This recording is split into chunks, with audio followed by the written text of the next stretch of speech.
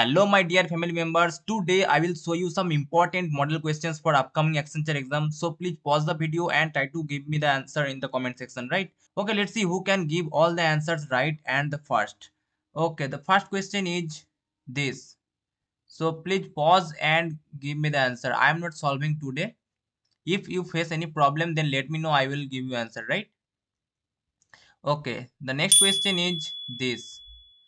I hope this is fully visible to you so i am not reading the question right?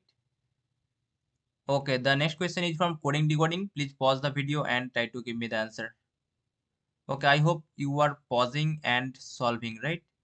Okay the next question is from relation based so please pause and try to give me the answer. Okay the next question is from analogy. Please give me your answer all together in a single comment right okay the next question is from missing number.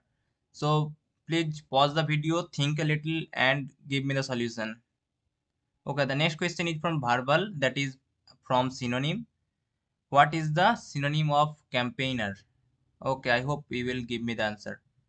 Okay the next question is from sentence correction. The children are too much noisy so what should be replaced here? Or may not may not replacement right okay the next question is from pseudocode. So please pause the video and try to give me the answer.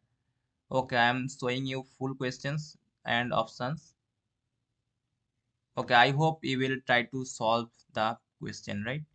Okay the next question is this showing to your screen.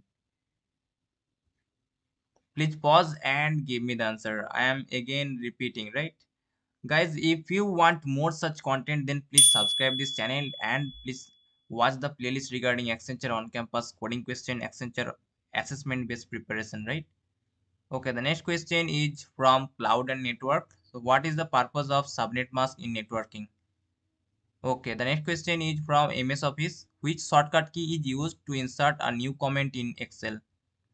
So this was the last question for today. Actually uh, it, it was an exercise purpose video right? So please pause and give me the answers all together in a single comment. Okay let's see who achieved the highest marks